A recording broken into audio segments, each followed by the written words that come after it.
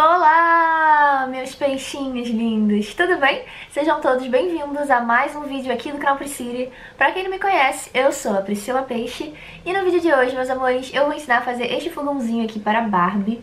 Ó, eu tentei fazer ele uma altura bem proporcional aqui, a altura da Barbie. Inclusive, eu medi a altura do meu fogão no meu corpo, assim, sabe, na minha altura, e fiz proporcionalmente. O meu fogão bate mais ou menos no meu quadril, então eu fiz ele da altura do quadril aqui da Barbie, pra fazer um fogão bem realista. E eu gostei muito do resultado, olha, o mais legal é que ele abre a portinha aqui, ó. E todos os botõezinhos dele giram. Todos os botõezinhos. Um fogão de seis bocas, como vocês estão vendo, um fogão maiorzinho. Espero muito que vocês gostem desse vídeo, meus amores. Quem gostar, não esquece de deixar o like, tá bom? Ah, e mais uma coisa que eu esqueci de falar. Eu acho que eu vou botar isso na capa aí, ou vou botar no título, mas enfim. Ele foi feito com materiais recicláveis, com papelão, com materiais baratinhos, daquele jeitinho que a gente gosta, então eu acho que vocês vão gostar. Se você gostar, não esquece de deixar o like, tá bom? Compartilhe aí com seus amigos que vão gostar desse vídeo também. E se você ainda não for inscrito aqui no canal, não esquece de se inscrever, tá bom? Então é isso, chega de papo e vamos logo lá fazer o fogão. Então, gente, para começar a fazer o fogão, eu cortei aqui alguns pedaços de papelão. Vão ser dois pedaços de 9 por 14 centímetros para a gente fazer as laterais. Dois pedaços de 9,5 por 13 centímetros para a gente fazer o topo e a base do fogão. E dois pedaços de 13 por 14 centímetros para a gente fazer a parte da frente e a parte de trás. Sendo que no papelão que vai ser a parte da frente do fogão, eu cortei um pedaço de 10,5 por 11,5 para a gente poder encaixar a porta. A porta eu resolvi fazer num papelão mais fininho, cortei esse papelão mais fininho com 10,5 por 11,5, exatamente do mesmo tamanho que eu tirei a parte do papelão. E aí agora eu vou pegar todas essas partes e vou começar a encapar. Eu vou usar contact preto, mas você pode encapar com o que você preferir, tá bom? E da cor que você preferir também. Aqui eu já terminei de encapar todas as partes, menos a parte da porta que eu só encapei as laterais, mas eu já mostro pra vocês porquê, tá? E eu vou começar, gente, separando aqui a parte da porta, a parte da frente e o topo do fogão, que eu não vou usar agora, e vou começar a montar as outras partes. Vou colar as duas laterais do fogão assim, ó, em cima da base, bem na beiradinha, e vou colar a parte de trás aqui também em cima da base. E aí é só colar as laterais na parte de trás também. Eu vou usar cola quente para colar essa parte, mas se você estiver usando um papel para encapar o papelão, você pode colar com cola branca mesmo, que não tem problema. Eu nunca testei cola branca no contact, mas eu acho que não cola.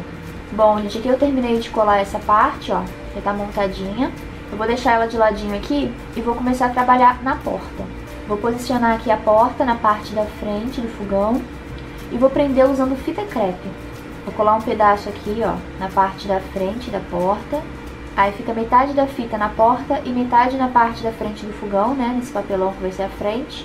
E aqui na parte de trás da porta eu vou fazer a mesma coisa. Vou colar um pedaço de fita crepe para ficar bem firme. Aí a nossa porta já tá grudada. Eu tô abrindo e fechando ela pra ficar bem fácil de abrir depois, tá? E aí agora é só pegar um pedaço de contact preto, ou do papel que você estiver usando aí pra encapar, e colar aqui por cima. Tanto na parte da frente, quanto na parte de trás. Prontinho. Agora já tá tudo encapadinho aqui certinho. Agora eu vou começar a fazer os botõezinhos aqui do fogão. E pra isso, eu cortei alguns círculos aqui de aviar rosa com um centímetro e meio de diâmetro. Eu tinha cortado, gente, sete círculos, porque o fogão tem seis bocas e ainda tem aquele botãozinho do forno, né? Só que eu achei que ficou muito apertado assim, sabe? Ficou tudo muito juntinho. E se eu fizesse botão menor, não ia nem aparecer. Então eu resolvi colocar só seis círculos, tá? Só seis botões. Mas se você preferir, você pode fazer sete e fazer eles um pouquinho menores, tá? E para cada botãozinho redondo desse, eu cortei um pedacinho de papelão com um centímetro e meio por meio centímetro. Eu encapei aqui com contact branco, todos esses pedacinhos de papelão, mas você pode pintar ele com tinta branca também ou encapar com papel da sua preferência. E aí para começar a encaixar os botões, a gente vai fazer o seguinte. A gente vai pegar um palito, eu estou usando um palito de churrasco, mas pode ser um palito de dente mesmo. E aí a gente vai posicionar os botões exatamente onde a gente quer que eles fiquem, tá? Vai vir com o palito bem no centro assim do círculo e vai marcar assim, vai vincar, tá vendo? Que marcou o papel contact ali atrás. Aí é só vir com uma tesourinha ou com algum objeto de ponta fina e fazer um furinho. E faz isso com todos os seis botões. Aqui eu já terminei de fazer os seis furos. E depois que eu fiz os furos, eu vim com um palito de churrasco e dei uma alargada assim no furo, sabe? Aí eu cortei aqui seis pedacinhos de palito de dente com um centímetro e meio, que a gente vai usar aqui nos furos. Começa colocando o palito assim, ó, dentro do furo. Leva ele quase até o final assim. E aí coloca uma gota de cola quente aqui atrás. Com bastante cuidado para não encostar essa cola no papelão, tá gente? É só no palito mesmo. Aí deixa essa cola secar. Aqui a minha colinha já secou. Já pode voltar o palitinho. Essa cola é só para o palito não escapar, tá gente? Para ele não sair pela frente. E aqui na parte da frente a gente vai fazer o seguinte, vai pegar o círculo de EVA, vai fazer um furinho nele também. Não precisa ser um furo muito largo, tá? Só o suficiente para o EVA conseguir entrar aqui no palito. Aí você empurra esse EVA. E agora a gente vai colar aquele pedacinho de papelão que eu falei pra vocês. Coloca uma gotinha de cola aqui bem na pontinha do palito, com bastante cuidado para não colar o EVA, tá gente? Só no palito que passa cola. E aí é só colar o pedacinho de papelão aqui. Bem centralizado. E aí faz isso com todos os botões. Aqui eu já terminei, ó, os botões estão girando certinho. E aí agora eu vou fazer o puxador aqui da porta do forno. E para isso eu cortei uma tira de papelão com 9 centímetros de comprimento por meio centímetro de largura, tá? Encapei com contact branco. E aí eu peguei uma tira de cartolina aqui. Pode ser papel ofício mesmo, tá? Papel, qualquer papel que você tiver aí. E eu vou enrolar em volta de um palitinho aqui, ó. Essa tirinha tem meio centímetro de largura, tá, gente?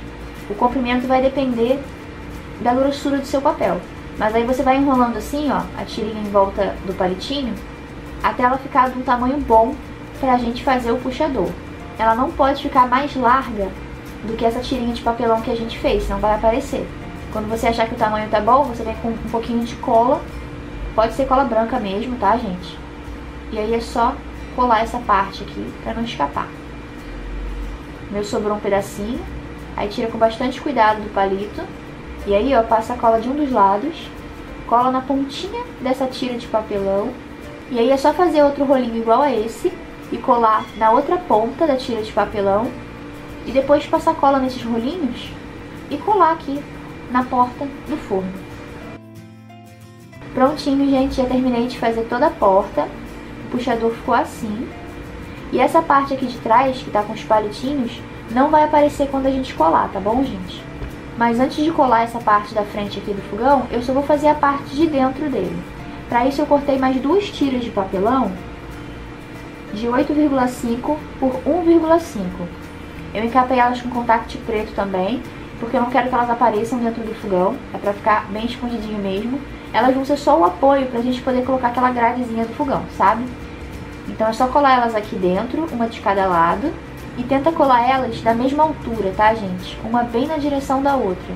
Eu vou colar elas aqui com cola quente mesmo. E aí, quando elas estiverem coladas, é só colocar a gradezinha no fogão. Pra fazer essa grade, eu peguei um pedacinho de plástico. Pode ser aquele plástico que vem em embalagem de brinquedo, que vem em embalagem de coisa de mercado, sabe? E esse plástico tem 9 por 12 centímetros. Eu risquei ele com uma caneta preta aqui, para simbolizar aquela grade mesmo. Fiz vários risquinhos com um centímetro e meio de distância entre eles. Eu usei uma caneta daquelas permanentes, sabe? Que marca CD e tal. Aí cola os pedaços de papelão, encaixa a grade e a parte de dentro do fogão vai estar tá pronta. Prontinho, gente. A grade já está ali dentro do fogão. Agora eu vou começar a montar ele. Vou colar primeiro essa parte aqui da frente. Ó, passa a cola assim, ó. Em volta cola a parte da frente, depois passa a cola em cima aqui e cola o topo do fogão. E aí ficou assim, gente, a estrutura do fogão já tá toda coladinha. Eu achei que nas laterais do fogão o acabamento não ficou perfeito, sabe? Ficou aparecendo um pouquinho de cola. Então eu vou colar uma tirinha de contact aqui em cada uma das laterais para o acabamento ficar perfeito. E aí o acabamento ficou assim, bem melhor, né, gente? E aí agora a gente vai fazer a parte de cima aqui do fogão. Para isso, eu cortei seis círculos de EVA cinza com 4 centímetros de diâmetro Vou colar eles aqui, ó. E cortei também seis círculos de EVA rosa com 2,5 cm de diâmetro. Eu quis fazer essa parte pro fogão ficar um pouquinho mais colorido, né, gente? Já que ele tá todo preto.